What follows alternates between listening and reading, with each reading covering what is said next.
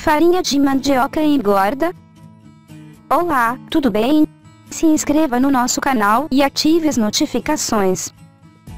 Bastante consumida na região norte e nordeste do Brasil, porém ela está no prato da maioria dos brasileiros, seja em forma de mingau, papas, sequilhos, bolos, farofas e tapioca.